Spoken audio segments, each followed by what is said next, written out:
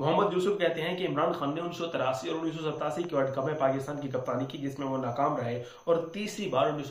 के world cup में वो पाकिस्तान को वर्ल्ड कप जिताने में कामयाब हुए इसलिए हम बाबर आजम की कप्तानी को किसी एक मैच या एक वर्ल्ड कप से जज नहीं कर सकते